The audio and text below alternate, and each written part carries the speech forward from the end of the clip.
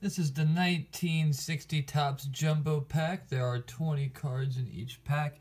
You can see it is 69 of 99. Again, you can see that's in perfect condition. They have been removed. I haven't obviously tampered with it. You can see by the seal right there. Again, if you see every pack includes two plus Hall of Famers or high numbers, three semi-high numbers as well. Let me know.